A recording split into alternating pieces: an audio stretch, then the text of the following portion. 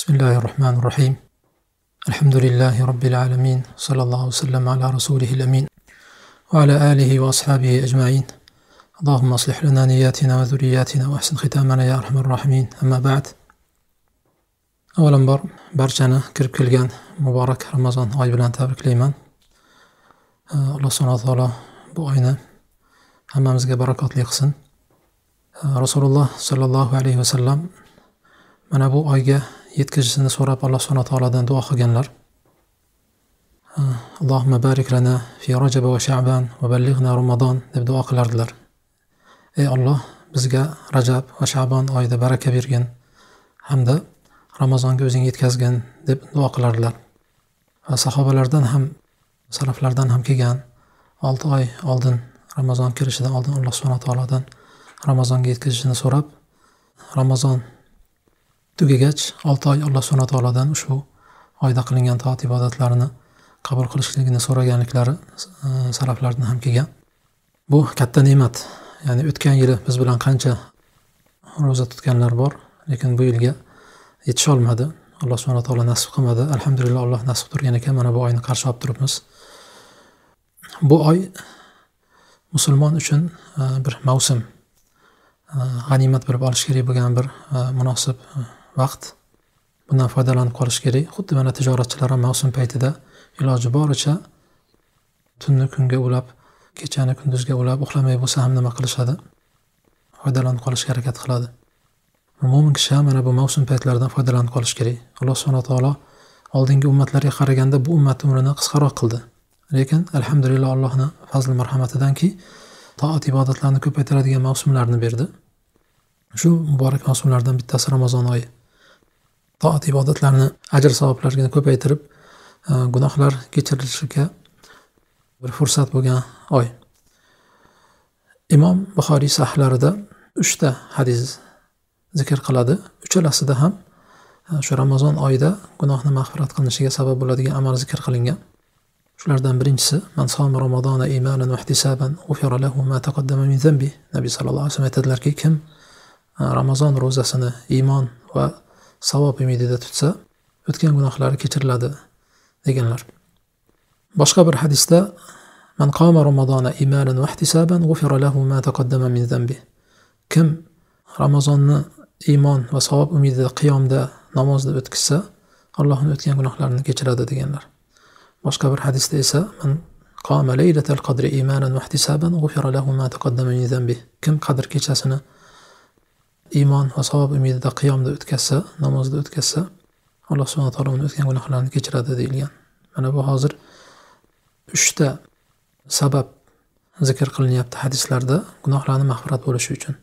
Bu katta fursat inson gunohlardan poklanib chiqishiga e, ro'zasini iymon va savob umidida tutsa alloh uchun xolis e, odamlar iftorga chaqiradi e, ro'za tutmasam uyat bo'ladi deb emas xolis alloh uchun olloh buyurgan farz ekan deb iymon bilan va savob umidida tutadigan bo'lsa bu birinchi sabab gunohlar kechirilishiga ikkinchi sabab kim ayni shu iymon va savob umidida qiyomda tursa deyilyapti qiyomdan maqsad ulamolar shu taroveh namozi deyishgan taroveh namozi va qo'yingki ertalabgacha sahar paytigacha o'qiladigan qiyomillayl nazarda tutilgan mana bu ham gunohlarni kechirishga sabab bo'ladigan amallardan bittasi shuning uchun inson iloji boricha mana shu oyda biron kun taroveh namozini kanda qilmasdan o'qishga harakat qilish kerak. Ayniqsa masjidda jamoat bilan imom bilan oxirigacha namoz o'qisa o'sha kecha to'liq tahajjudda o'qigandek savob yoziladi deyilgan hadislarda. Mana bunga harakat qilish kerak. Baribir hech kim shomdan to ertalabgacha bomdodgacha sahargacha to'xtamay qiyomda o'tkazish qiyin endi bu. Albatta qiyin. Shunday bo'lgandan keyin hech bo'lmaganda nima qilish kerak inson? Masjidga chiqib tarovehni jamoat bilan imom bilan oxirigacha o'qishga harakat qilsa inshaalloh mana shu ajrga ega bo'ladi. Ba'zida sakkiz rakat o'qib chiqib ketib qoladi. Yo'q to'g'rirog'i sakkiz rakat o'qimasdan imom yigirma rakat o'qiyotgan bo'lsa shu yigirma rakat to'liq o'qib imom bilan birga salom berib vitrini o'qib qaytilsa inshaalloh ertalabgacha tahajjud o'tkazganni savobiga erishadi inshaalloh. Uchinchisi qadr kechasi. Qadr kechasini iymon va savob umidda tutadigan bo'lsa gunohlari o'tgan gunohlari kechiriladi deyilyapti. Endi mana shu uchta fursat gunohlarni kechirishga uchta fursat bo'la turib gunohlari kechirilmagan kishi baxti xarob bo'lgan kishi haqiqiy mahrum bo'lgan kishi. Rasululloh sollallohu alayhi vasallam bir kun minbarga chiqdilar. Birinchi zinaga chiqqan paytda ko'tarilgan paytda omin dedilar. Keyin yana bir zina ko'tarilib yana omin dedilar. Uchinchi zinaga ko'tarilganda ham uchinchi marta omin deganda sahobalar so'rashdi ya rasululloh uch marta omin dedingiz sababi nima? deganda shu birinchi zinaga ko'tarilganda jibril alayhissalom kelib kim ramazon oyiga yetgan bo'lsayu yetishgan bo'lsayu gunohlari kechirilmagan holatda chiqsa uni burni yerga ishqalsin baxti qaro bo'lsin deb aytdi. Men omin deb aytdim dedilar. Keyin qolganlarida boshqa duolarni aytadilar. Unga ham rasululloh sollallohu alayhi vasallam omin dedilar. Mana shu e'tibor berilsa gunohlari kechirilmagan holatda chiqqan kishini baxti qaro bo'lsin yoki burni yerga ishqalsin degan ba'zi rivoyatlarda rasululloh sollallohu alayhi vasallam omin dedilar. Duo qilayotgan jibroil alayhissalom omin deb turgan rasululloh sollallohu alayhi vasallam. Demak mana shu uchta fursatni ham qo'ldan boy berib gunohlar kechilmay chiqish bu haqiqiy mahrumlik. Alloh saqlasin. Alloh subhana taolo hammamizni mana shu oyda ro'zalarini iymon va savob umidida tahajjudlarini tarovihlarni iymon va savob umidida tutishni alloh o'zi nasib qilgan bo'lsin. Alloh nasib qilsa bugun savol javoblarimizda ham shu ramazon oyi munosabati bilan e, ko'proq asosan ro'za va zakot haqidagi savollarga javob berishga harakat qilamiz. Agar e, vaqtimiz qolib e, imkon bo'lsa keyin boshqa savollarga ham javob berishga o'tamiz inshaalloh. Assalomu alaykum va rahmatullohi va barakatuh. Ustoz bugungi majlisimizga kelgan savollarni o'qib eshittirishni boshlaymiz. Alloh taolo so'ziga quloq tutib uning eng yaxshisiga ergashadigan bandalaridan qilsin. Allohumma amin. Ustoz dard vaqt tanlamas ekan. Inson ramazon oyida ham ba'zi muolajalarga muhtoj bo'lib qoladi. Shu kunlarda tishimni davolatyapman. Muolajamiz ramazongacha cho'zilib ketyapti. Davolash og'riq qoldiruvchi ukollarsiz juda mashaqqatli ba'zan chidab bo'lmas darajaga keladi. Hojat bo'lsa ro'za holda lab va milklardan og'riq qoldiruvchi ukol olish joizmi? Bismillah alhamdulillahi vahda vassalotu vassalamu ala man la nabiyya ba'da amma ba'd. Ho'p avvalambor davolanish masalasiga kelsak ya'ni tish davolatish ro'za oyida e, ulamolar joiz deyishgan. Mabodo og'riq qoldiruvchi ukollar olish kerak bo'lsa buni ham ba'zi olimlar joiz deyishgan. Chunki milkka ukol qilish bu yeb ichish hukmida emas. Ya'ni ro'zador ro'za kunida ayolga yaqinlik qilishdan yeb ichishdan qaytarilgan. Ammo yeb ichish ma'nosida bo'lmagan ukol ukollar ular yeb ichganni hukmida bo'lmaydi. Lekin e, albatta bu masalada xilof bor. Ya'ni insonni tanasiga ichiga kirgan har qanday narsa e, ro'zani ochadi degan ulamolar ham bor. Shuning uchun ixtilofdan chiqib o'zi aslida kechasi davolatish iloji bo'lsa og'zini ochgandan keyin kechasi davolatgan yaxshi deydi. Lekin chidab bo'lmaydigan darajada bo'lsa kechiktirishni imkoni bo'lmasa yoki o'zi kechasi ishlamasa masalan tish davolatadigan joylar kechasi ishlamasa shunaqa paytlarda endi zarurat bo'lganligi uchun davolatsa bo'ladi. Faqat gohida tish davolatayotganda ichga nimadir ketib qolishi mumkin. Suv yo qon yo hokazo. Mana shu narsadan ehtiyot bo'lish kerak. Endi ba'zi ulamolar mabodo beixtiyor ketib qolsa ozgina biron bir tomchi ketib qolsa ro'zasi ochilmaydi deganlar bor. Ayrimlar ehtiyot yuzasidan bir kunga bir kun qazosini o'tabersin deyishgan. Ya'ni mabodo beixtiyor ichiga nima ketib qoladigan bo'lsa suv yo qon ozgina ketib qoladigan bo'lsa bir kuniga bir kun ehtiyot bobidan ehtiyot yuzasidan tutib bergani yaxshi. Allohu alam. Ustoz biz makka shahriga umra uchun safar qildik. Ramazondagi umra rasululloh sollallohu alayhi vasallam bilan haj qilishdek ajrli ekanligini eshitdim. Bu ajrga erishish uchun ramazonda ko'proq umra qilish joizmi? Makkada safar muddatidan uzoq vaqt qolamiz. Bu holatda miqotga chiqishimiz shartmi yoki oysha onamiz masjidlari kabi haram tashqarisiga chiqish kifoya qiladimi? Bismillah alhamdulillahi vahda vassalotu vassalamu ala man la nabiyya ba'da amma ba'd. Ramazonda umra qilishni o'ziga xos fazilati bor. O'zga boshqa oylardan qilingan umradan ko'ra ortiq fazilati bor. Imom buxoriy sahlarida uh, rivoyat qilganlar. Rasululloh sollallohu alayhi vasallam bir ansoriy ayolga uh, nega men bilan birga haj qilmading men bilan birga haj qilishdan nima to'sdi deganlarida aytdilarki ya'ni erini va farzandi bir tuyada haj qilib ketishdi. O'zi bor yo'g'i suv tashiydigan ikkita tuyamiz bor edi. Shu bitta tuyamiz bilan erim va farzandim haj qilib ketdi bir tuyada suv tashish uchun men qoldim. Borishni imkoni bo'lmadi deganda rasululloh sollallohu alayhi vasallam ramazon oyi kelganda umra qilgin. Ramazonda umra qilish men bilan birga haj qilish bilan barobardir deganlar. Mana bu sahih buxoriyda kelgan hadis. Endi men bilan birga haj qilgan bilan barobar ajri men bilan birga haj qilgandek bo'ladi degan so'zning ma'nosi haqida ulamolar ixtilof qilishgan. Ba'zi ulamolar ayni shu ayolni o'ziga xos deganlar bor. Ba'zilar haj qilaman deb harakat qilib imkoni bo'lmasa shu ramazon oyida borsa haj qilganni savobini oladi degan.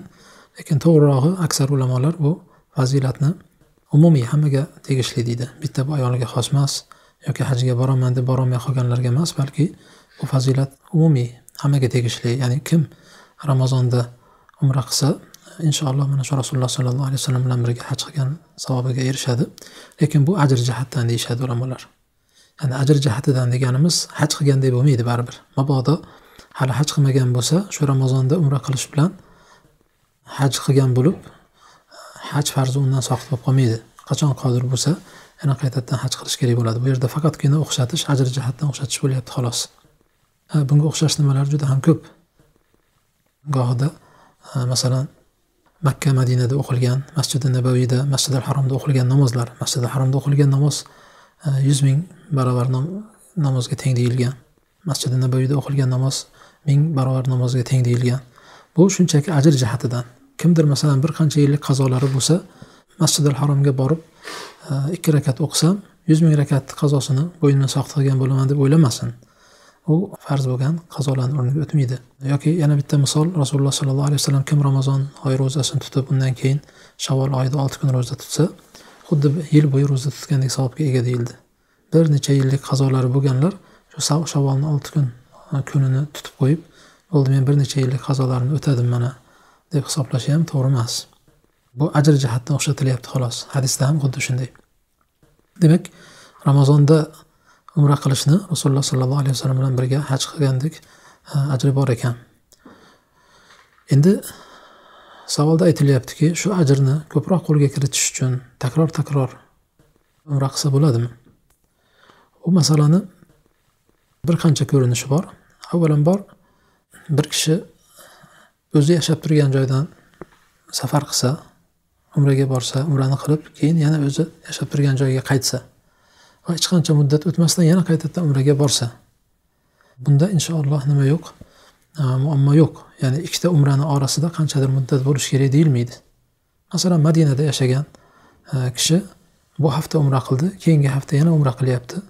Ikki haftadan keyin yana umra qilmoqchi yoki ikki kundan keyin hatto masalan yana umra qilgisi keldi yana umra qilyapti. O'zini uyiga qaytyapti madinaga keyin yana qaytadan kelib umra qilyapti. Unda inshaalloh muammo yo'q. Umra qilish mumkin. Rasululloh sollallohu alayhi vasallam tabiu e, baynal hajji val umra haj va umrani ketma ket qilinglar deganlar orada biron bir muddat belgilamadilar. Yoki al umratu ilal umra umra keyingi umragacha bo'lgan orasidagi gunohlarga kaforat dedilar. Demak ikkita umrani orasida qilingan gunohlarga kaforat bo'ladi deyilyapti. Birinchi umra bilan ikkinchi umrani orasida kamida qanchadir muddat bo'lishi kerak deyilmadi. To'g'ri ba'zi ulamolar endi hech bo'lmaganda soch qorayishini kutsin deydi. Ya'ni soch qorayishini kutsin deganimiz birinchi umrada sochini qirib oldirgan bo'lsa hech qancha muddat o'tmasdan shu umrasi bilan chiqib yana qaytadan umra qiladigan bo'lsa ustaraga ilinadigan hech narsa qolmaydi. Bu ikkinchi umradan ham ehromdan chiqish kerak bo'ladi. Shunga hech bo'lmasa ikki uch kun bo'lsa ham kutsin ozgina bo'lsa ham sochiga nimadir ilinadigan bo'lsa keyin qilsa bo'ladi deydi endi buni sochini qisqartirganlarda bu nima? Muammo yo'q endi. Mabodo birinchi umrada o'zi sochini qisqartirgan bo'lsa keyingi umrada masalan yana sochini qisqartirishga to'g'ri kelsa bunda muammo yo'q. Demak bu birinchi ko'rinish. Agar uyiga qaytib o'zi yashab turgan joyiga qaytib yana qaytib umra qilaman desa e, bunda biron bir cheklov yo'q. Ya'ni bemalol umra qilishi mumkin qayta qayta. Lekin xilof nimada? Bir kishi uyidan umra qilaman deb chiqsa o'zimiz diyorlardan masalan o'zbekiston bo'lsin qirg'iziston bo'lsin o'zimiz diyorlardan boshqa pokistondan boshqa joylardan kelib makkaga kelyaptida bir oyga ikki haftaga umraga kelyapti. Shu bir safarda bir necha marta umra qilishni hukmi nima? Mana bunda endi ixtilof bor. Makkaga keldi. Makkada turgan paytda umra qilib bo'lgandan keyin yana e, oysha onamiz masjidlariga chiqib tanimga chiqib masalan yana qaytadan ehrom bog'lab kirishi joizmi yo'qmi? Mana bu masalada endi ixtilof bor. Ayrim ulamolar bu joiz emas deganlar bor. Bir safarda bir marta umra qiladi xolos. Rasululloh sollallohu alayhi vasallam to'rt marta umra qilgan bo'lsalar bir marta haj to'rt marta umra qilgan bo'lsalar bir safarda bir marta umra qilganlar xolos. Haj qilgan yillari makkaga qachon yetib keldilar? Zulhijjani to'rtinchi kuni haj sakkizinchi kuni boshlanadi. Orada to'rt kun muddat bo'la turib ham chiqib kirib nima qilmadilar? Bekor o'tirmaylik va umrani savobiga ega bo'laylik deb na o'zlari na endi to'g'ri o'zlari endi qorin niyat qilganlar. Haj va umraga niyat qilganlar lekin boshqalar? Masalan umrasini qilib umradan chiqqan ko'p sahobalar masalan o'zi bilan birga qurbonlikka yetaklab kelmagan sahobalar ehromdan chiqqan. Ho'p haj vaqti kelguncha yana to'rt kun bor tanimga chiqib umra qilib vaqti g'animat bilinglar deb ishora qilmadilar deydilar va hokazo ya'ni bu e, ma'ruf emas deydilar ikkinchidan deydi umra shu makkaga kirib keluvchilar uchun deydi. Ehrom bog'lab makkaga kirib kelinadi. Endi o'zi makkada bo'lgan kishi hojati yo'q endi harom tashqarisiga chiqishga. Umra o'sha baytullohga yetish uchun tavof qilish uchun. Ha bu endi makkadagi odam yetib keldi baytullohni oldida borib keladigan vaqtini ketkazmasdan to'g'ridan to'g'ri tavof qilsin deydi. Tavof qilgani afzalroq deydi. Masalan tanimiga borib kelguncha ham qancha vaqt ketadi? Undan ko'ra shu yetti yetti martadan nafl tavoflarni ko'paytirgani afzal deyishadi. Ba'zi ulamolar bo'lsa buni zarari yo'q deydi. Ya'ni ayrim ulamolar mabodo bir umra qilgan paytda ya'ni bir safarni o'zida bir necha marta umra qilishi joiz. Buni man qiladigan biron bir ochiq dalil yo'q deydi. O'sha umratu ilal umra bir umra keyingi umrani orasidagi bo'lgan gunohlarga kaforat degan hadislarga tayanib turib cheklab qo'yilgan nima yo'q deydi. Va oysha onamizni hadislari nima qilishadi? Dalil qilishadi. Oysha roziyallohu anho rasululloh sollallohu alayhi vasallam bilan birga boshqa e, ayollari ham sahobalar birga madinada zulhulayfada ehrom bog'lab chiqishadi. Oysha onamiz makkaga kelay deb qolganda uzrli bo'lib qoladilar. Uzrli bo'lib qolib endi to'rtinchi kuni yetib keldi deyapmiz. Bu yoq endi g'oliban ayollarni uzrli kuni o'zi bir hafta kamida bir hafta bo'ladigan desak arafot kunigacha endi poklanmaydi. Yig'laydilar rasululloh sollallohu alayhi vasallam nima bo'ldi desa e, shu e, uzrli bo'lib qolganliklarini aytadilar. E, bu odam farzandiga yozilgan qizlariga yozilgan narsa alloh taqdiri bu endi deb rasululloh sallallohu alayhi vasallam yupatadilarda hoji nima ish qilsa shuni qilgin deydilar. Faqat baytullohni tavof qilmagin deydilar. Keyin oysha roziyallohu anhu nima qiladilar? Hajni niyat qilib yuboradilar chunki umrani hajdan oldin bitirishni imkoni yo'q endi uzrli bo'lganliklari uchun. Hajni niyat qilib yuboradilar.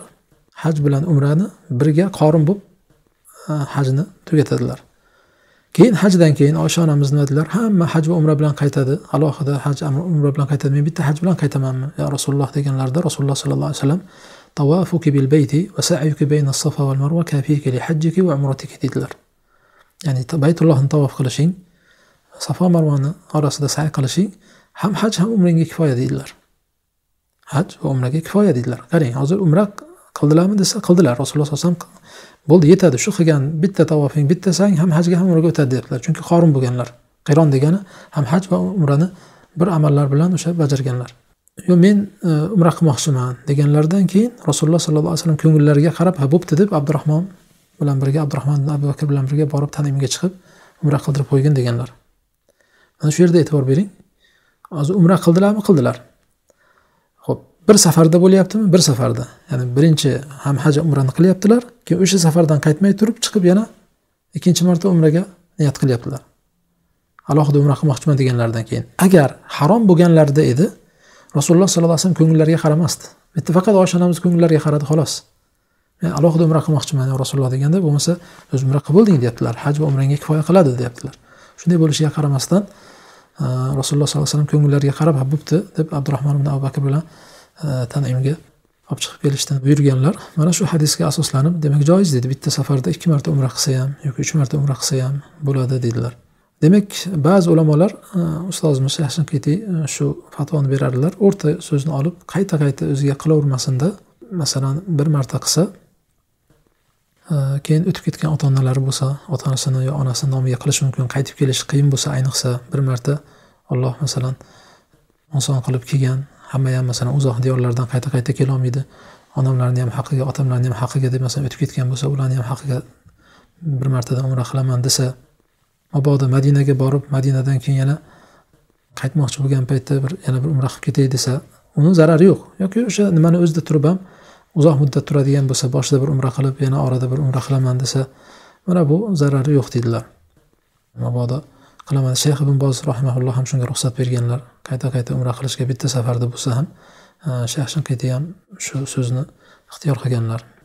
To'g'ri endi qayta qayta chiqib kirib ba'zilar hali sochini olmay turib bir kunni o'zida bir necha martalab qayta qayta borib bir kunda ikki marta umra qildim. Har kuni masalan bir hafta turgan bo'lsa bir haftada o'n besh marta yigirma marta umra qildim deydi. Mana bu endi haqiqatda yaxshi emas. Ya'ni hozir sahobalar rasululloh sollallohu alayhi vasallam ham nimasiga qarasak qayta qayta qilishmagan ular ham.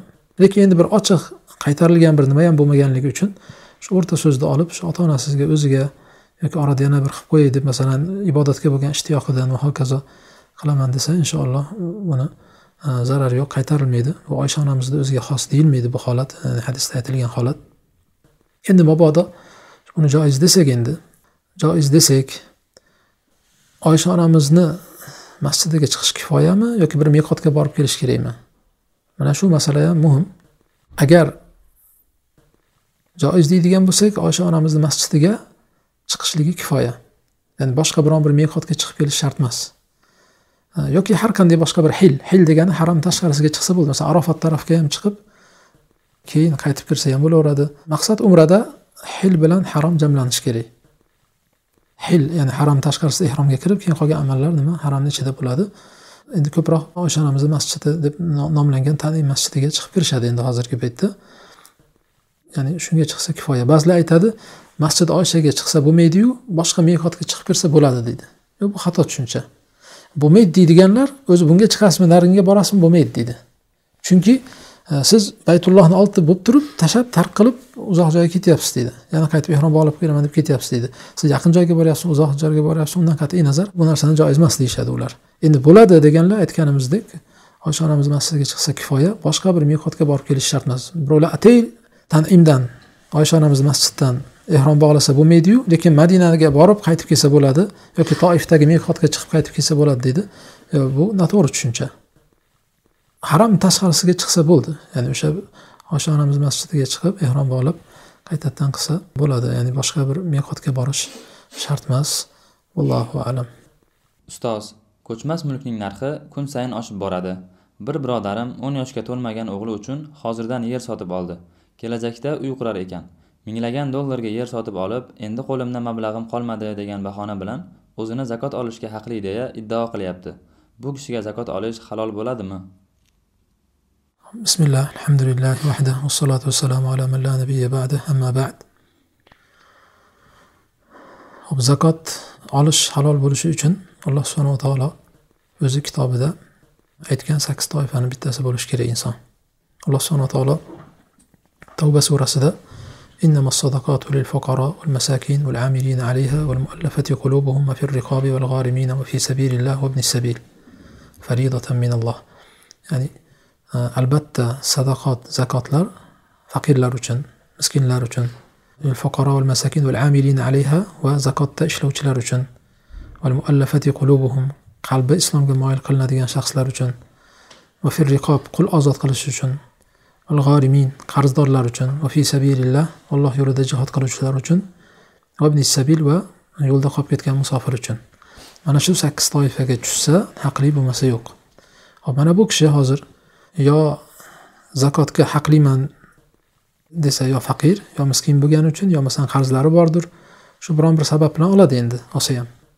yo faqirman deydi yo miskinman yo qarzim bor deb olishi mumkin. Hop endi hali o'n yoshga to'lmagan bolamga deb olib qo'ygan mulki bor ekan masalan. O'sha mulki bor bo'lsa ham mabodo yetkazolmayotgan bo'lsa bola chaqasini boqolmayotgan bo'lsa kambag'al suratida kambag'al sifatida olish mumkinmi? Yoki qarzlari bor ishlayapti oylik olyapti. O'ziga o'ziga bola chaqasiga yetgan bilan lekin qarzini to'lashga orttirolmayapti lekin bu yerda aytganimizdek olib qo'ygan uyi bor. Farzandimga deb olib qo'ygan uyi bor. Shunda ham qarzini to'lash uchun masalan qarzdor sifatida zakotdan olsa bo'ladimi deyilsa ulamolar faqir yoki qarzdor mm, sifatida zakot olish uchun shartlari bor o'sha shartlar to'liq topilishi kerak deydi. Masalan kambag'al bo'lish uchun o'zi va farzandlari nafaqa berish vojib bo'lgan ayoli va farzandlariga yeb ichishi kiyim kechagi turar joyi va hayot uchun yashash uchun zarur bo'lgan narsalarga yetarli narsasi bo'lmasligi kerak. Ya'ni olayotgan oyligi masalan oilasiga aytganimizdek mana shu kerak narsalarga taqriban masalan besh yuz dollar ketadi desak bir joyda ishlaydi bor yo'q masalan to'rt yuz dollar oladi yoki uch yuz ellik dollar oladi. Qolganini yetkazolmayapti mana shu yetkazolmayotgan qismini endi zakotdan olsa bo'ladi deydi. Har oyda masalan kimdandir qarz olishga to'g'ri kelib qoladi va hokazo shunaqa holatda nima qilsa bo'ladi? Zakot olsa bo'ladi o'sha yetmagan qismiga. Ho'p endi uni ulamolar aytishadiki boshqa bir mulki bo'lsa bu endi muhtoj deyilmaydida ho'p bu masalan deylik olayotgan oyligiga ozgina yetkazolmayapti lekin ortiqcha mulki bor uni sotsa yetkaza oladi. Demak bu hali o'n yashar e, farzandi e, qachon u voyaga yetib uni masalan uylab e, uyli joyli qilguncha ancha vaqt bor alloh o'zi razzoq u yog'i ya'ni allohni o'ziga topshirish kerak. Modomki bu narsa o'zini mulki bo'lsa ya'ni farzandni mulki emas otani mulki bo'lsa faqat farzandga deb olib qo'yayotgan bo'lsa va otani mulkida endi. O'sha oshiqcha mulki bormi o'sha mulki bo'la turib zakot olishga haqli emas. Shuni sotsin shuni pulini ishlatsin yetmaganiga. Va hokazo. Yoki qarzi bo'lsa qarzini to'lash uchun olmasinda o'sha ortiqcha mulkini sotish kerak. Masalan yashab turgan uyini sotsin demaymiz. Minib turgan mashinasini o'zini ehtiyoji uchun ishga borib kelayotgan bo'lsa uni sotib qarzini to'lasin demaymiz. Chunki uni sotsa muhtoj bo'lib qoladi. Modomiki mashinasi ehtiyojiga yarasha o'zini holatiga munosib bo'lsa ya'ni gohida arzonroq mashina bilan ham kun kechirish mumkin qimmat mashina olib olish mumkin. Mana bular ham zakot olishi mumkin emas. Chunki sotsin mashinasini sotsin salimdekroq mashina olib qarzini o'sha ortiqcha pul bilan qarzini to'lasin deyiladi. Xullas modomiki bu yer bor ekan uyi bor ekan hozir ehtiyoji yo'q ekan bu farzandimga deb olib qo'yganligi bu nima uzr bo'lmaydi nima olishga zakot olishga. Uni sotib bo'lsa ham qarzi bo'lsa qarzini to'lasin yo kambag'alman deb yetkazolmayotgan bo'lsa o'sha uni pulini ishlatib bo'lgandan keyin ham ishlari yurishmasa yana yetkazolmayotgan bo'lsa undan keyin endi zakotdan olishi mumkin. Allohu alam. Ustoz g'azo ahli ochlik va qiynoqda aziyat chekmoqda. Nafaqat musulmonlar balki qalbida zarracha insoniylik hissi qolgan kishilar ham ularga bor kuchi bilan yordam bersam deydi. G'azo ahliga pul yuborish imkonsiz. Imkoni bo'lsa ham ular hozir puldan ko'ra ko'proq dori darmon suv kiyim va oziq ovqatga muhtoj. Bu yil ko'pchilik zakotlarini g'azo ahliga qaratmoqchi. Masalan bir kishi zakotini g'azodagi faqir va miskinlar uchun ajratib pulni yordam yetkazuvchi kishilarga berdi. Ular pulni olib har xil narsalar sotib oladi yo'l haqqiga sarflanadi. Bularning hammasi ham yetib borishi dargumon. Shu holatda uni zakoti zakotga o'tadimi? Ya'ni o'n ming dollar bergan pulini ming dollari yo'lga ketgan bo'lsa to'qqiz ming dollar zakot bergan bo'ladimi yoki o'n ming dollarmi? Bismillah alhamdulillahi vahdahu vassalotu vassalamu ala man la nabiyya ba'da amma ba'd. Alloh subhana taolo g'azo ahliga va boshqa yerdagi mazlum musulmonlarga o'zi nusrat bersin o'zi najot bersin.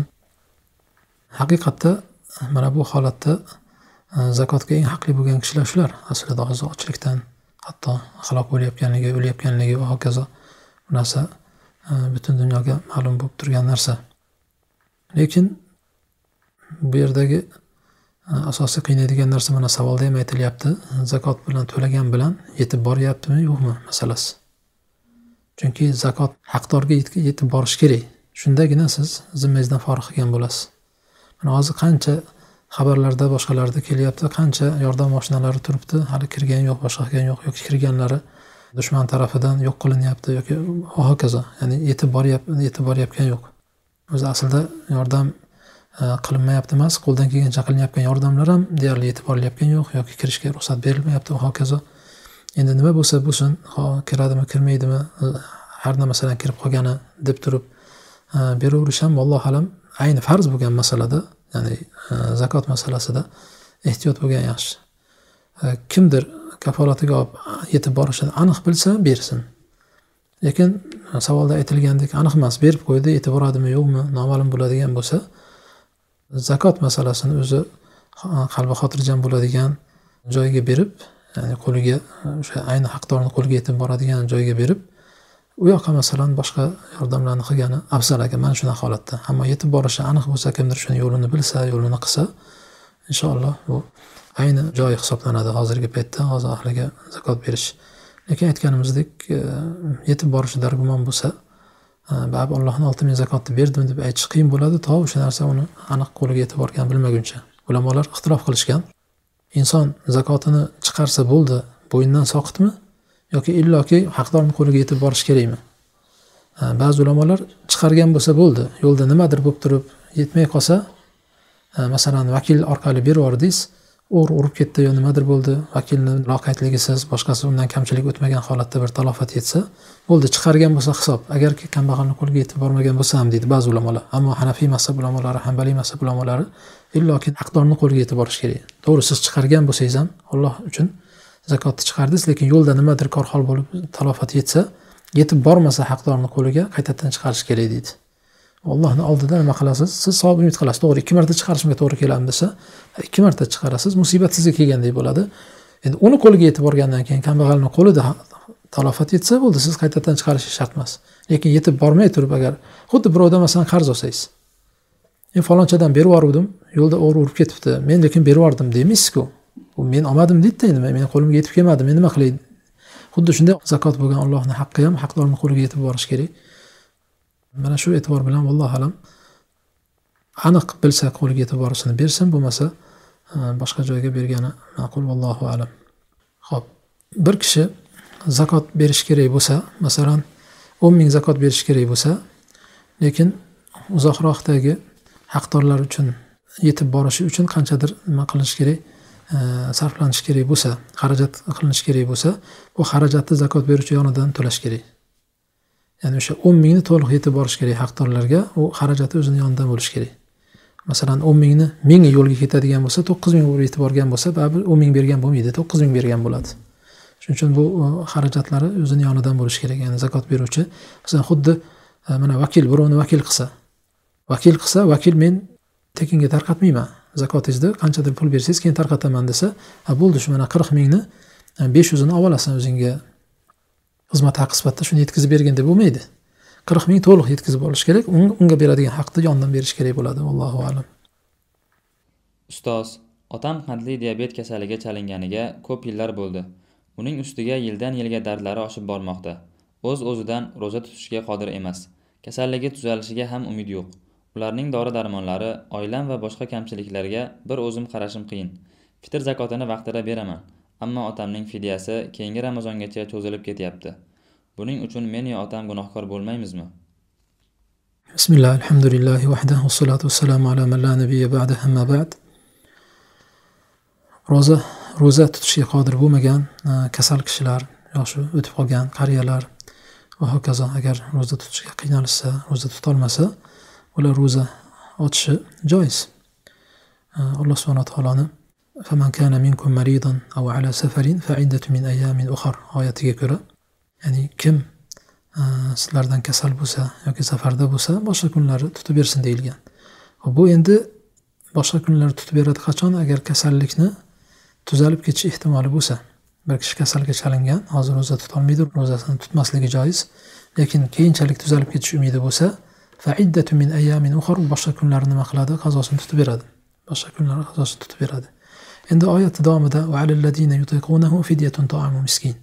qiyinchilik ya'ni ro'za tutishga qiynaladiganlarga esa bitta miskin to'ydiradigan taom bersin deyilgan fidya bersin deyilgan hop mana shu yerda ulamolar uni ibn abbos roziyallohu anhu sahih buxoriyda keladi u o'sha yoshi o'tib qolgan qariyalar haqida tushgan ular agar ro'za tutolmaydigan bo'lsa keyinchalik ham ularni endi sog'ayib ketish ehtimoli yo'q. Ular endi yil o'tgan sari yana qariligi oshsa ortadi kasal ortsa ortadi lekin tuzalib ketish umidi yo'q bo'lganlar. Mana bular endi kasal ro'za tutolmaydi. Keyinchalik kasaldan tuzalib qazosini o'tab berish umidi ham yo'q. Kasali tuzalmaydi degan bir nima faraz qilinyapti. Mana bu holatda endi har bitta kunligiga bitta miskin taomlantiradigan fidya berish kerak bo'ladi. Har bir kunni o'rniga. Bu qancha miqdor bilan belgilanadi desa ulamolar ixtilof qilishgan. Ba'zilar bir so taom desa o'sha ro'za tutayotgan kishi o'zi yashab turgan joyda odamlar ovqatlanadigan masalan e, ko'pincha ozuqa bo'ladigan guruch bo'lsa guruchdan bo'lmasa boshqa narsalardan berish mumkin. Ozuqa bo'ladigan boshqa narsalardan masalan oldin arpa bug'doydan bo'lgan hozirgi paytda masalan guruch shunga o'xshagan narsalardan e, bersa bo'ladi. Ba'zilar bir so degan ba'zilar yarim so degan ba'zilar bir mud degan xullas ixtilof bor bu masalada. Endi ehtiyotlirog'i masalan yarim so deb olsak yarim so berish kerak deb olsak yarim so endi bir so qancha bo'ladi desak ehtiyot bobidan uni ham kilo bilan uch kilo desak bir soni uch kilo desak yarim so bir yarim kilo bo'ladi. Shunda bir kunga bir yarim kilo beradi. Bir kuniga bir yarim kilo bersa kifoya qiladi. Bir yarim kiloni endi masalan o'ttiz kun ro'za o'ttiz kun desak qancha qirq besh kilolik masalan guruch olib bersa yoki un olib bersa masalan qirq besh kilolik un olib bersa shuni o'zi kifoya bir oyga yetadi. Lekin ulamolar aytadi uni oldindan berib qo'ymaslik kerak. Oldindan berib bo'lmaydi. Ya'ni yo har kunligini har kun beradi yoki oxirida bir bersin deydi. Oxirida bersin deydi. Ammo oyni boshida o'ttiz kunga deb berib qo'yib bo'lmaydi. Xuddi Э, ramazon oyi kelmasdan bir, bir oy oldin ro'za tutish joiz bo'lmagandek vaqti kelmay turib boyagi miskinni taomlantirish ham joiz emas. Yo aytganimizdek masalan bugun mana ramazon oyini birinchi kuni ro'za tutolmadi bugun birinchi kunnikini bersa bo'ladi. Ertaga yana ro'za tutolmadi ertagi kunni beradi va hokazo deydi. Yoki oxirida bitta jamlab bitta berib qo'ysa ham bo'ladi. Bu endi taom bilan beraman desa ammo miskinlarni faqirlarni uyiga chaqirib ovqatlantirib taomlantiraman desa bu ham kifoya deydi. Masalan oxirgi e, ramazonni oxirgi kuni iftorga chaqirsa kambag'al miskin deb sifatlanadigan kishilarni har qanday kishini emas o'zini qo'ni qo'shni birodarlari boshqalari masalan o'ziga to'q odamlar o'tmaydi. Ayni shu kambag'al miskin deb hisoblangan kishilarni chaqirib ovqatlantirsa bu ham o'tadi. Anas roziyallohu anhu yoshlari o'tib qolib ro'za tutolmagan paytda shu oxirida bir marta mehmon qilib chaqirib qo'yarkanlar deydi. Hop pul bilan bersam bo'ladimi? deb yana bitta savol so'rashadi fidyani. Hozir mana taqriban bir yarim kilo guruch va shunga o'xshagan narsadan beradi deyapman. Shuni endi pulini berib qo'ya qolsamchi desa bu ham ixtilofli masala. Aksar ulamolar pul berib bo'lmaydi. O'sha taom bilan berish kerak. Yo taom bilan berasiz tarqatasiz bir yarim kilodan tarqatib chiqasiz yo bo'lmasa uyga chaqirib taomlantirasiz ammo pul berib bo'lmaydi deyishgan. Demak fidya shu. Agar shu narsaga qodir bo'lsa fidya beradi. Endi hozir savolda aytilyaptiki e, otam qodir emas deyapti. Men o'zim ham bola chaqa boqish ham otamni masalan fitrlarni beraman qo'ldan kelgancha lekin fidyasini to'lashga qodir emasman. Keyingi ramazongacha ham cho'zilib ketyapti deyapti. Agar mana shu tarzda berishga ham qodir bo'lmasa aslida soqit. O'zi aslida bu kimga vojib? Otaga vojib. Ro'za tutolmayotgan ota. Ota ro'za tutishga qodir bo'lmasa fidyani o'zi beradi. Fidya to'lashga ham qodir bo'lmasa ba'zi ulamolar bo'ldi soqit bo'ladi desa ba'zi ulamolar zimmasida qoladi qachon qodir bo'lsa beradi deydi. Farzand ota uchun to'lab berishi shart emas o'zi hozir bu yerda men qiynalib qolyapman deyapti. Meni otam gunohkor bo'lmaymizmi deyapti. Agar haqiqatda ojiz bo'lgani uchun to'lamayotgan bo'lsa gunohkor bo'lmaydi. O'zi aslo vojib ham emas mabodo qodir bo'lgan taqdirda ham farzand otani nomidan berish shart emas illo otani moli bo'lsa boshqasi bo'lsa shuni sotib boshqa qilib berishni iloji bo'lsa otani nomidan berish kerak. Bo'lmasa asli farzand ota uchun bu yerda berishi shart emas. Bersa yaxshi nur ustiga nur. Lekin berish shart emas. Bo'lib ham mana bunaqa holatda qiynalib turgan bo'lsa unga vojib emas. Allohu alam. Ustoz dugonamning boshida dardi bor. Miya ichida qon to'planib qolgan. Ichki va tashqi qon bosim kasalligi davleniyasi va cherepnoy davleniyasi bor. Kunlik dori ichib yuradi. Ko'p davolandi foydasi bo'lmadi. Ramazon ro'zasini tutganida boshi qattiq og'rib gohida og'riqdan yig'lab majbur bo'lib ochib yuboradi. Bu holatda fidya berib ro'zani tark etishi to'g'riroq emasmi? Bismillah alhamdulillahi vahdahu vassalotu vassalamu ala man la nabiyya ba'da amma ba'd. Shariatimiz eh, yengil din alhamdulillah alloh subhana taolo eh, o'zi shariatimizni yengil tarzda nozil qildi. Va kimgadir biron bir qiyinchilik bo'ladigan bo'lsa yana uni ustiga yengillik bergan. Aslida ro'za bir oyda bir yilda bir oy tutiladi xolos. U ham qodir bo'lganlarga. Hop kim qodir bo'lmasa undan ro'za tutish soqit. Oyatda sizlardan kim kasal bo'lsa yo safarda bo'lsa boshqa kun tutib bersin deyildi. Demak kasal kishiga aslida ro'zasini ochishi e, ruxsat joiz. Endi bu yerda hozir aytilyapti. Ayni o'sha qiynalib qolib o'sha paytda ochadimi yoki bo'ldi tutmay qo'ya qolsa bo'ladimi? Boshdan bosh tutmay qo'ya qolsa bo'ladimi deyilyapti.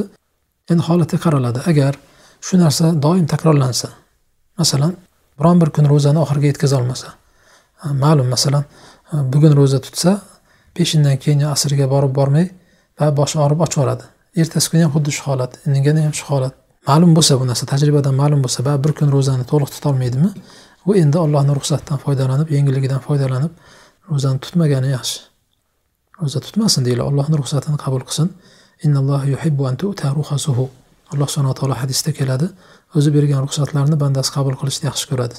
Alloh bergan yengillikdan foydalanish kerak. Inson o'zini qiynab men oxirigacha ko'raman agar ojiz bo'lsam keyin ochaman demasdan u tajribada ko'rinayotgan bo'lsa har kuni u narsani uddasidan chiqolmayotgani bo'ldi. Boshidan ro'za tutmasdan keyinchalik tuzalib ketish imkoni bo'lsa aytganimizdek kutadi. Tuzalish umidi bor bo'lgan kasallik bo'lsa kutsin fidya ham bermaydi. Tuzalgandan keyin qazosini o'tab qo'yadi. Yo bu dardni masalan tabiblarni so'ziga ko'ra yo umidi yo'q deyilsa unda fidya beradi. Unda fidya beradi.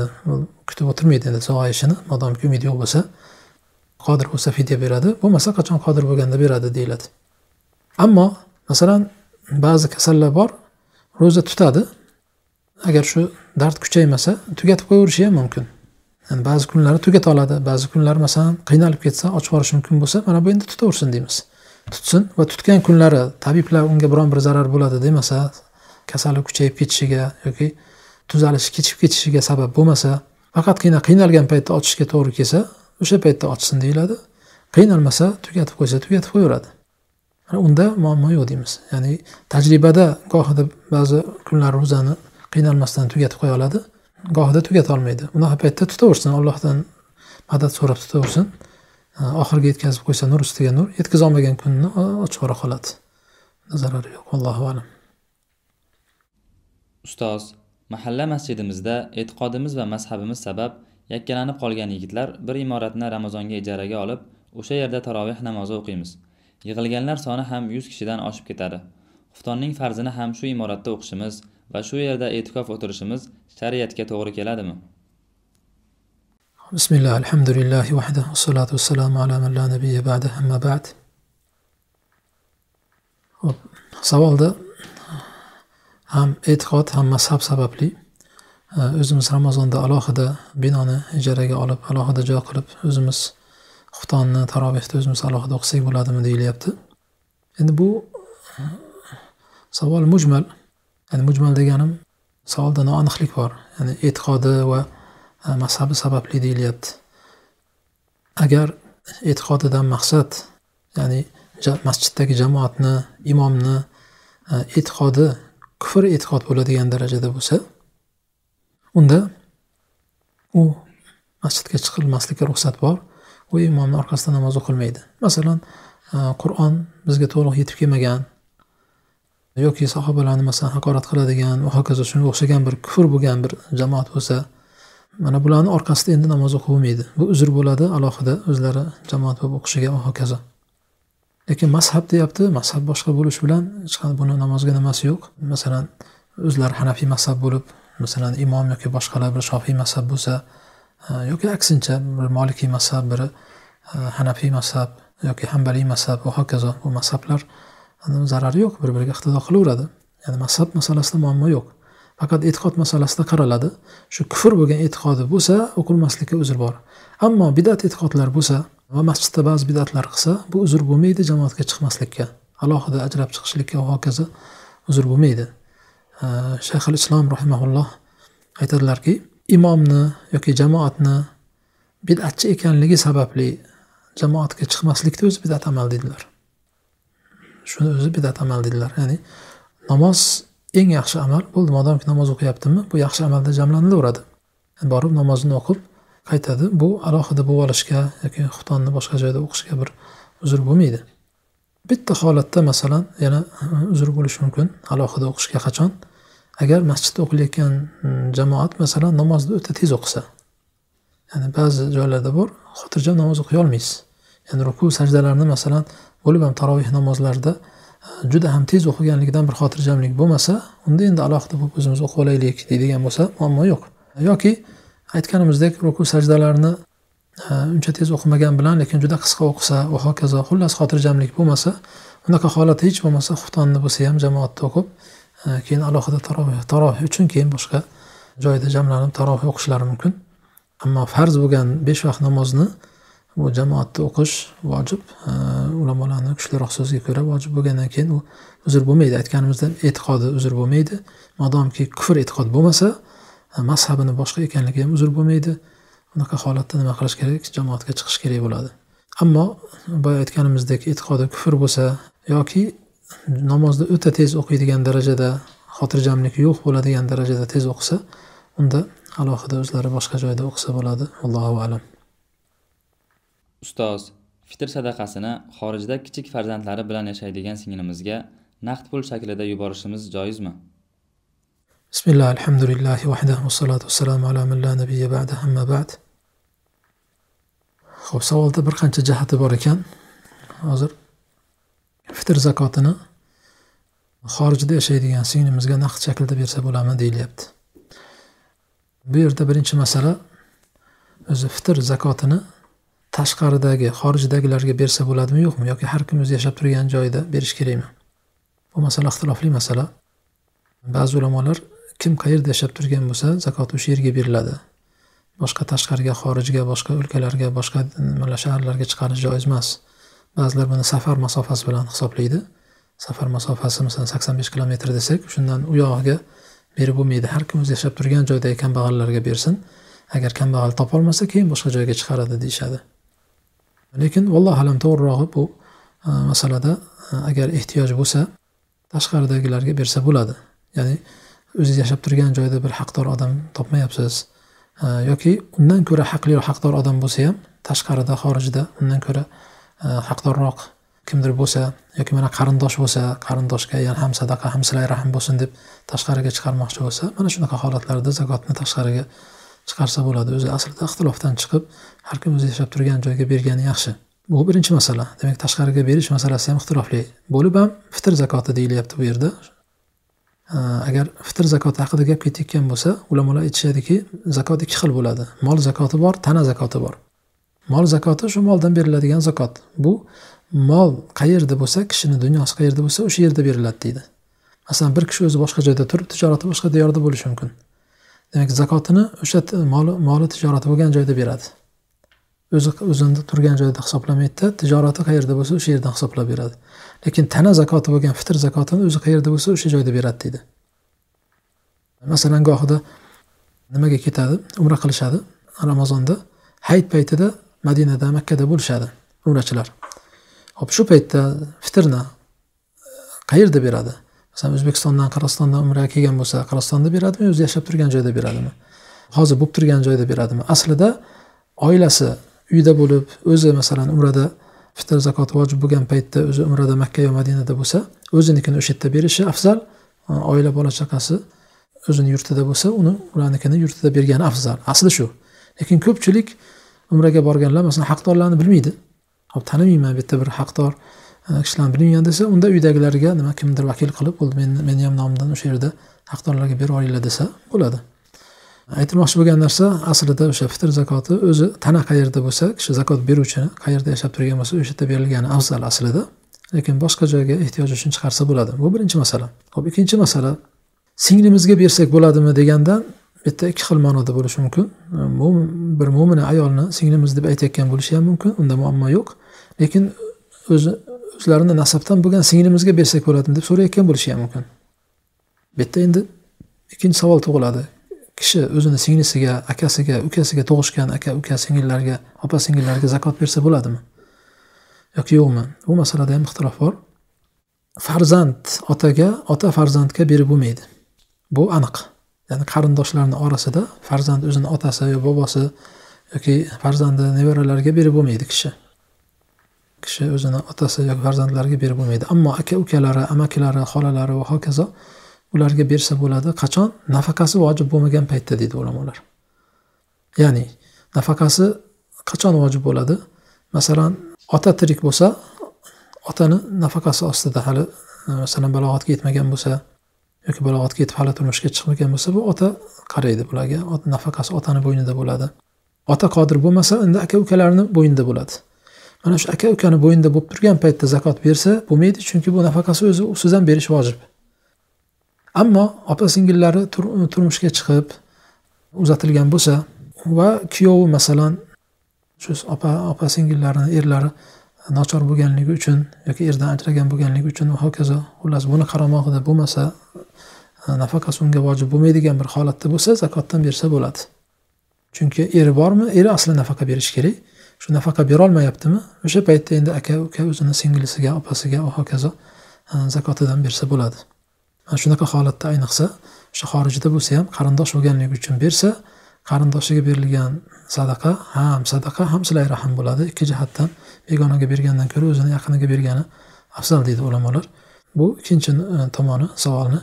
Uchinchi tomoni naqd pul bilan bersak bo'ladimi? Deyilyapti. Naqd pul bilan berish masalasi ham ixtilofli masala. Aksar ulamolar nazdida hambaliy shofiy molikiy mazhab ulamolar nazdida pul bilan berib bo'lmaydi. O'sha taom bilan chiqarilishi kerak. Rasululloh sollallohu alayhi vasallam zamonalarida ham pul bor edi. Pulga ehtiyoj ko'p edi lekin rasululloh sollallohu alayhi vasallam taom bilan berishni farz qildilar.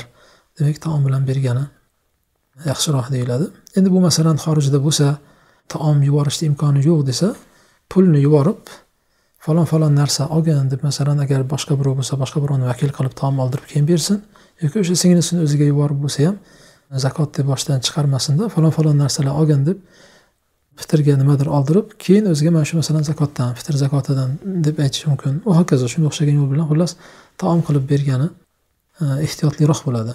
Ba'zilar to'g'ri pul bilan bersa bo'ladi degan olimlar ham bor ularni ham o'ziga yarasha dalillari bor. Shu paytgacha kimdir pul bilan berib kelgan bo'lsa uni zakot o'tmadi demaymiz inshaalloh. U o'tgan yilgilarni ham qaytadan bersin deyilmaydi. Modomiki mo'tabar mazhabga olimlarga ergashib berib kelgan bo'lsa pul bilan buni qaytarish shart emas u. Lekin bu yog'iga ehtiyot yuzasidan pul bilan emas taom bilan bergani yaxshi. Imom ahmad rahimaulloh pul bilan chiqarilish haqida so'ralganda alloh qabul qilmasmikin deb qo'rqaman deganlar. Ya'ni ba'zilar pul bilan bersa manfaatliroq o'zi xohlagan narsasini oladi deydi. Bitta kambag'alni miskinni foydasini o'ylashdan oldin inson o'zini allohni oldidagi vazifasini vojibini bajarishni o'ylash kerak birinchi bo'lib. Ya'ni jumhur ulamolar o'tmaydi deb turgan bo'lsa yo'q bu o'tmaydi zakotga o'tmaydi deb turibdi. Endi shunaqa paytda ollohni oldida aniq vazifamni bajardim vojibimni o'tadim deydigan tarzda ya'ni hozir taom bilan bersa kim bo'lmaydi deydi. To'rttala mazhab ya'ni butun ulamolarni hammasi zakot o'tibdi deydi. Lekin pul bilan bersa ba'zi olimlar o'tdi degan bilan lekin ko'p ulamolar nazdida bu zakot o'tmabdi deydi. Shuning uchun allohu alam bu narsaga befarq qaramaslik kerak. Ko'proq foyda qilaman desangiz o'sha arzonroq bo'lsa ham bir taomdan berib taomdan berib ustiga pul qo'shib bering yana. Pul qo'shib yoki qimmatroq narsadan olib bering. O'sha ikki kilo bug'doyni pulini bergandan ko'ra ikki kilo yaxshi sifatli guruchdan olib bersangiz o'shanda kambag'al bo'lsa haqiqatdan muhtoj bo'lsa muhtoj odamga berayotgan bo'lsangiz qabul qiladi uni xursand bo'lib qabul qiladi. O'sha ikki ikki kilo bug'doyni pulidan ko'ra yaxshi guruchdan olib bersangiz o'sha ham unga manfaatliroq bo'ladi. Savolni to'rtinchi nimasi? Shuni savoldan oldindan berib qo'yish masalasi ham tushunish mumkin. Buni ham ulamolar ixtilofli masala. To'g'rirog'i shu yo hayit kuni hayit namozi o'qilguncha berish mustahab yoki undan bir kun yo ikki kun oldin berish joiz xolos. Ya'ni oldindan mana ramazon oyi kirishi bilan yoki ramazon oyini orasida fitr zakotini berib qo'ysa ayrim ulamolar nazdida o'tmaydi bu. Ko'p joylarda masalan ramazonni asnosida yig'iladi fitr. Joiz emas deydiganlar bor. Shuning uchun bu masalada ham ixtilofdan chiqib o'sha o'zini vaqtida bergan afzal. Ya'ni e, yo hayit kuni bersin ya'ni hayit kuni e'lon qilingandan boshlab to namozgacha bo'lsa yaxshi. Yo unda berishga ulgurmayman deyilsa unda bir kun yo ikki kun oldin e, ya'ni ramazonni yigirma to'qqizinchi kuni o'ttizinchi kuni bersa bo'ladi. Ya'ni bir kun ikki kun oldin bersa bo'ladi. Allohu alam. Ustoz kishi ramazon oyi kirmasdan ehrom bog'lab amallarni ramazonda qilsa ramazonda umra qilganlik fazilatiga erishadimi? Bismillah alhamdulillah vahda vassalotu vassalamu ala man la nabiyya ba'da amma ba'd. Hop ramazon e, oyida e, qilingan umrani o'ziga xos fazilati bor deyildi. Ya'ni rasululloh sollallohu alayhi vasallam bilan birga haj qilganni savobi beriladi deyildi. Lekin bu savobga erishish uchun umrani barcha amallari ramazon oyida bo'lishi kerak. Ya'ni gohida e, ko'pchilikdan savol kelyapti. Ayniqsa mana shu yili ko'pchilikdan bir necha marta takror takror savol keldi. Ramazon kirmay turib ramazonga niyat qilib ehrom bog'lasaku keyin makkaga borib ramazon e'lon qilinishini kutib turib agar ramazon kirgan bo'lsa keyin umra qilsak. Shunda ramazonda umra qilgan savobiniga erishamizmi degan savol berilyapti. Ulamolar bunga javoban Э, yo'q deyishgan. Э, ya'ni bu ramazonda umra qilganni savobiga erishgan bo'lmaydi bu bilan. Nimaga deyilsa chunki e, umrani rukunlaridan bittasi miqotda ehromga kirish. Labbayk allohumma umratan deb mana bu umrani rukunlaridan hisoblanadi. Ikkinchi rukni tavof bo'lsa keyin say keyin soch oldirish. Demak asosiy amal farz bo'lgan rukun bo'lgan amallarni biri ramazon kirmay turib bo'lyapti. Endi qolgan amallar kelib tavof say soch oldirish ular ramazon oyi kirgandan keyin bo'lsa ham ehromga kirish agar ramazon oyi kirmay turib bo'lgan bo'lsa bu u fazilatga erishgan bo'lmaydi deyishadi.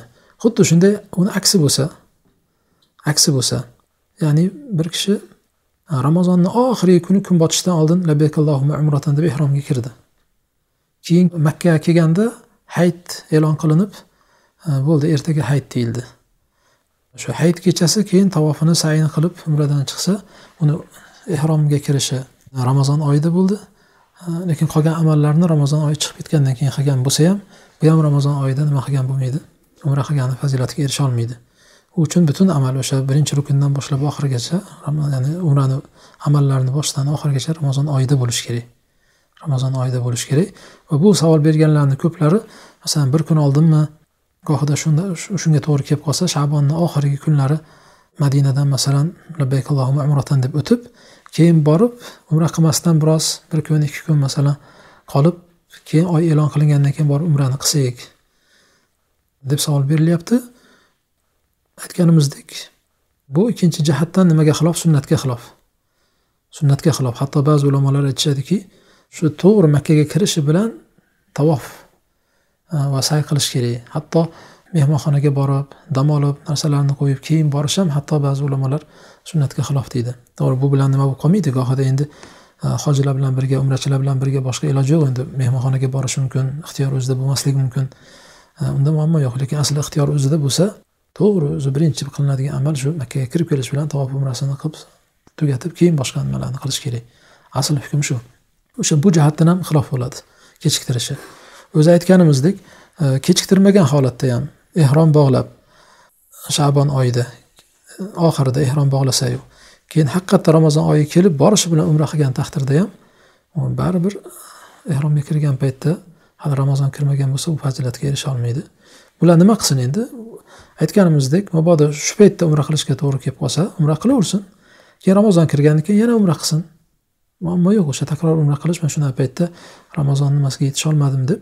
Yana tanimga chiqib masalan makkani o'zida agar qisqa vaqtga kelgan bo'lsa tanimga chiqib yana qaytadan umra qilsa inshaalloh ramazon oyida umra qilganni nimasiga fazilatga erishgan bo'ladi. Allohu alam. Ustoz ro'zador kishi tishlari orasida qolgan taomni yutsa ro'zasi buziladimi? Bismillah alhamdulillah vahda vassalotu vassalamu ala man la nabiyya ba'da amma ba'd aslida ro'zador yeb ichishdan va ayolga yaqinlik qilishdan chetlanish kerak. Og'izdan kiradigan har qanday narsa ro'zani buzadi deydi ulamolar.